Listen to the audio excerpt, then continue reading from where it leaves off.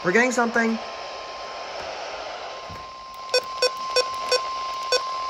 The National Weather Service in State College, Pennsylvania has issued a severe thunderstorm warning for southwestern Clearfield County in central Pennsylvania, central Blair County in central Pennsylvania, northeastern Cambria County in central Pennsylvania until 12:45 p.m.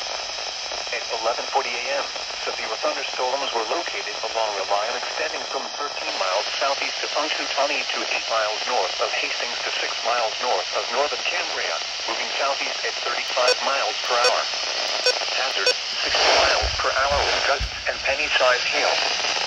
Source, radar indicated. Impact, expect damage to trees, roofs, and siding.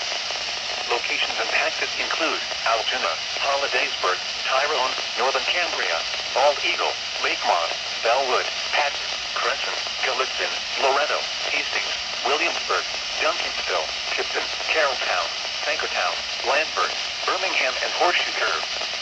This includes Interstate 99 for mile markers 27 to 53. For your protection, move to an interior room on the lowest floor of a building. Repeating, a severe thunderstorm warning has been issued until 12:45 p.m. for the following counties: Blair, Cambria, and Clearfield.